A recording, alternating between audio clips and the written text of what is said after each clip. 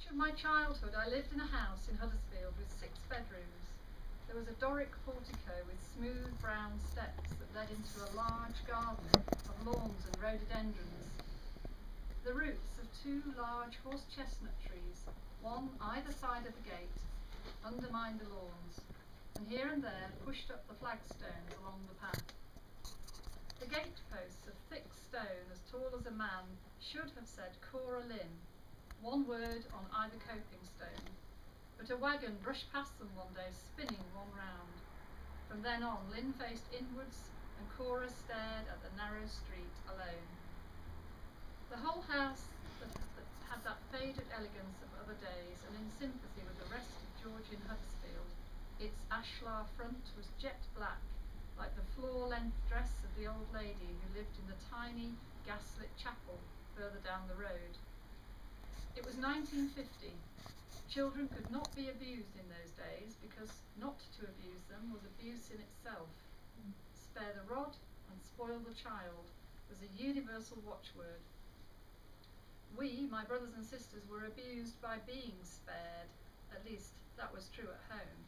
School was another matter. On arriving back from school each day, we were given bread and jam and then turned out until dinner time. Children, we were told, should be seen and not heard. The backyard had coach houses, workshops, and a coachman's cottage. It was surrounded by high walls and laid out as a badminton court. Beyond were the stable yard and a paddock as big as a small field. We had plenty of place, a safe space to play in. Bit by bit, 1950 tipped its way towards Christmas Eve. The year passes slowly for a child.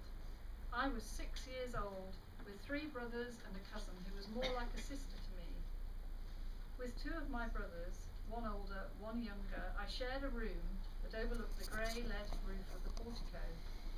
My eldest brother, ten years older than me, was more like an uncle.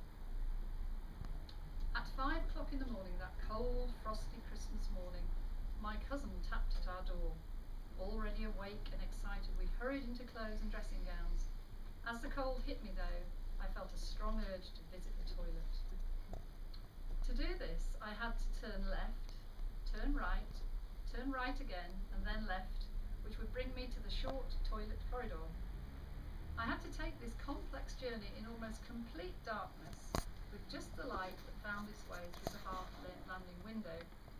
I turned left, then right, right again, but when I touched the wall in front of me, it just melted away and then closed up again behind me. There were many rooms in that house that I'd never been in. Was I still in the same house, I wondered, or had I stumbled into one of those horror stories my eldest brother told me to frighten us? It was dark, deathly quiet, and it smelt different. Away across at the other side, I could see moonlight creeping around the edge of a tall curtain. I set off towards it, and part way across, I got an awful fear that the floor would open up under my feet and I would fall into yet another unknown room. As I stepped carefully, I brushed against strange furniture and then recoiled in horror as the hands of the curtain wrapped themselves around my face. Goodness gracious, I was scared. I swallowed hard, moved the curtain aside, and stared out of the window. The moon shone bright and cheerful like the star over Bethlehem across a grey and frosted garden, and there, to my relief, stood Cora and Lynn, shivering under the chestnut trees. I knew then at least I was in the right house. I began to understand what had happened to me.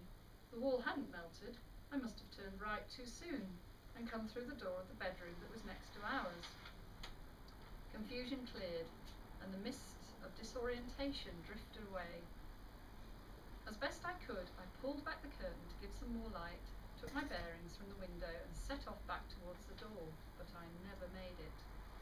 Instead, with my hands stretched out in front of me, and my pale dressing gown brushing the floor, I walked into something.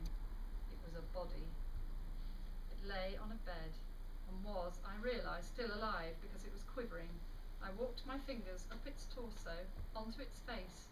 In a strangled voice it cried, What is it? I'm lost, I wailed. Body leapt out of my grasp and the light came on. There, terrified and with his back to the wall, stood my eldest brother. Hadn't he woken to see the curtains open and a ghost in the moonlight come in at the window? hadn't it made a beeline for him and explored his features with its icy fingers wailing like a lost soul. he was so relieved that it was only me.